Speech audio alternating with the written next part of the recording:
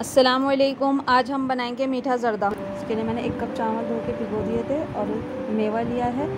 लौंग इलायची, एक कप चीनी, देसी घी, मावा और मीठा। अब एक पतीले में लौंग इलायची डाल के चावल बॉईल कर लीजिए। ये देखिए, हमारे चावल 80 परसेंट तक कुक हो गए।